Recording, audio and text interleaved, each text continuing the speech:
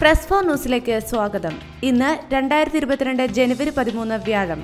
വാർത്തകൾ വായിക്കുന്നത് ശ്രീകല. പ്രധാന വാർത്തകൾ.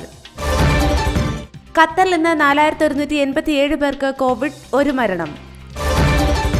ഖത്തറിൽ നിലവിലെ കോവിഡ് നിയന്ത്രണങ്ങൾ തുടരുമെന്ന് മന്ത്രിസഭാ യോഗം മുപ്പത്തിയൊന്നാമത് ദോഹ അന്താരാഷ്ട്ര പുസ്തകമേള ഉദ്ഘാടനം ചെയ്ത് പ്രധാനമന്ത്രി.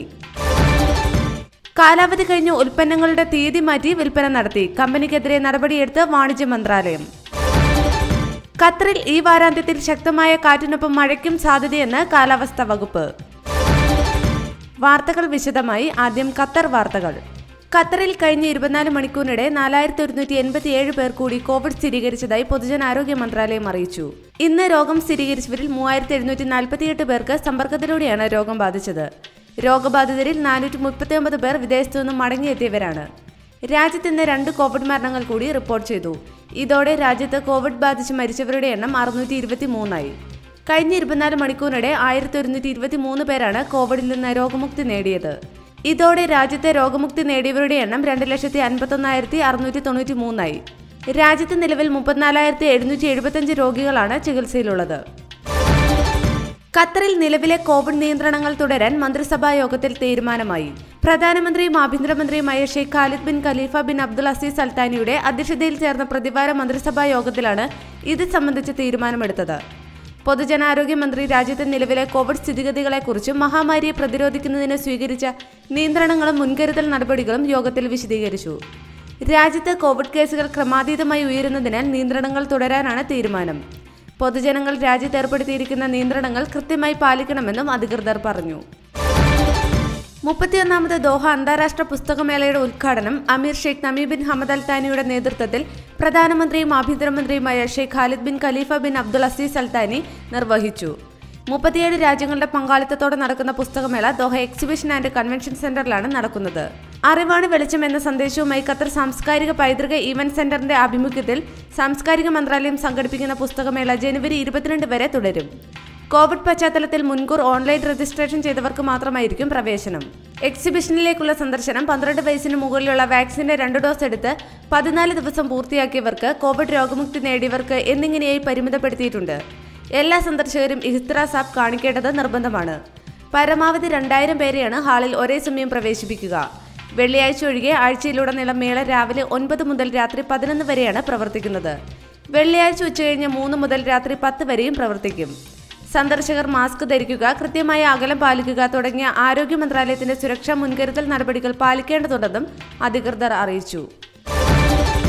ഖത്തറിൽ നിയമലംഘനം നടത്തിയതിനെ തുടർന്ന് ഒരു വാണിജ്യ സ്ഥാപനം ഒരു മാസത്തേക്ക് അടച്ചുപൂട്ടുന്നതായി വാണിജ്യ വ്യവസായ മന്ത്രാലയം അറിയിച്ചു. മുൻതാസ ഏരിയയിലെ എലൈറ്റ് എഫ് ആൻഡ് ബി എന്ന ട്രേഡിംഗ് കമ്പനിയാണ് അധികൃതർ പൂട്ടിയത്.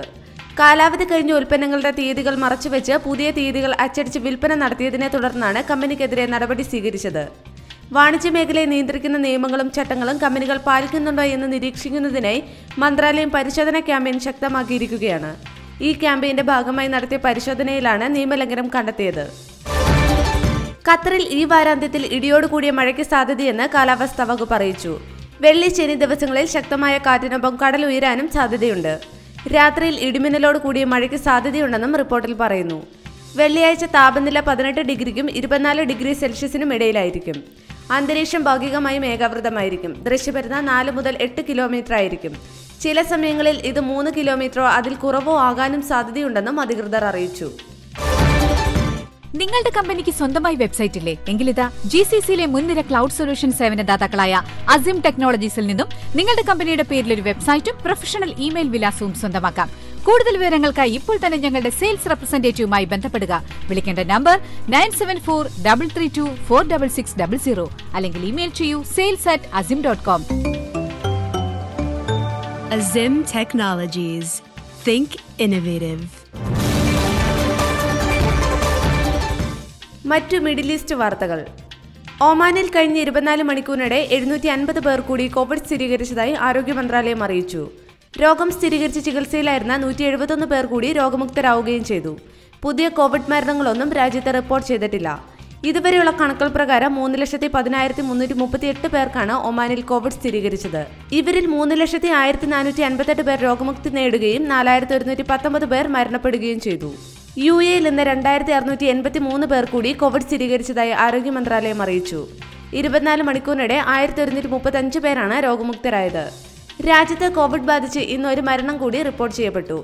കഴിഞ്ഞ ഇരുപത്തിനാല് മണിക്കൂറിനിടെ നടത്തിയ മൂന്ന് ലക്ഷത്തി ഏഴായിരത്തി എഴുന്നൂറ്റി അറുപത്തിയേഴ് കോവിഡ് പരിശോധനകളിൽ നിന്നാണ് പുതിയ രോഗികളെ കണ്ടെത്തിയത്. ഇതുവരെയുള്ള കണക്കുകൾ അനുസരിച്ച് ആകെ ഏഴ് ലക്ഷത്തി തൊണ്ണൂറ്റയ്യായിരത്തി തൊള്ളായിരത്തി തൊണ്ണൂറ്റിയേഴ് പേർക്കാണ് രാജ്യത്ത് കോവിഡ് സ്ഥിരീകരിച്ചത്. ഇവരിൽ ഏഴ് ലക്ഷത്തി അൻപത്തി ആറായിരത്തി എണ്ണൂറ്റി അഞ്ച് പേർ ഇതിനോടകം തന്നെ രോഗമുക്തരാവുകയും ചെയ്തു. നിലവിൽ രാജ്യത്ത് മുപ്പത്തേഴായിരത്തി പത്ത് കോവിഡ് രോഗികളാണ് ചികിത്സയിലുള്ളത്. ഒമാനിൽ വനിതാ ടാക്സി സർവീസ് നടത്താൻ ഓ ടാക്സി ആപ്ലിക്കേഷന് ലൈസൻസ് അനുവദിച്ചതായി ഗതാഗത വാർത്താവിനിമയ വിവര സാങ്കേതിക മന്ത്രാലയം അറിയിച്ചു. വനിതകൾ ഓടിക്കുന്ന ടാക്സികൾ പരീക്ഷണാടിസ്ഥാനത്തിൽ ജനുവരി ഇരുപത് മുതൽ മസ്കത്ത് ഗവർണറേറ്റിലായിരിക്കും ആദ്യഘട്ടത്തിൽ സർവീസ് നടത്തുക.